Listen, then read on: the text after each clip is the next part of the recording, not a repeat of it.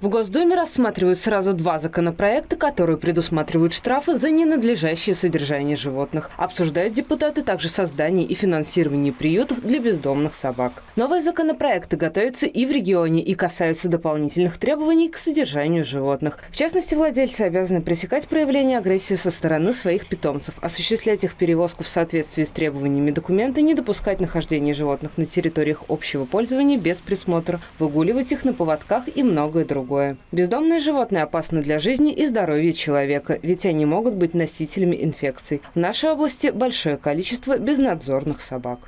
В целях профилактики выдано 97 предостережений, 2500 памятка о недопустимости самовыгула, обследовано около 7 тысяч домовладений, рассмотрено 195 обращений.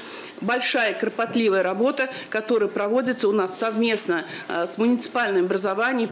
Также в Ульяновской области регулярно проводится отлов и вакцинация собак. После медицинских процедур животных отпускают. И появляется новая проблема. Являясь стайными животными, бездомные собаки объединяются в группы, которые способны напасть на людей, травмировать и даже загрызть их. Это беспокоит многих ульяновцев. Здесь вот в Киндяковке проживаю. Но постоянно, да, я вижу собаки, это самые, тех собак, которые гуляют, и э, стаи эти самые как они там кучкуются вместе.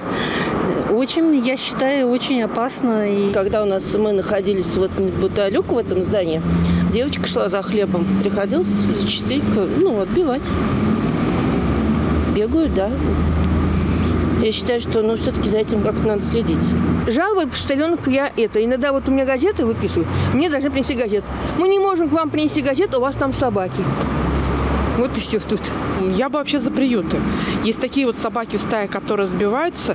Конечно, нужно какое-то, ну, делать государство, приюты, которые, ну, содержать их должны. Также стоит помнить, что большинство собак бродячими не рождаются, а становятся из-за самовыгула и безответственного отношения хозяев. В первую очередь, мне кажется, тут надо смотреть в, в корень проблемы, поскольку данные собаки распространяются из-за распущенности хозяев, которые позволяют им выпускать. Вот.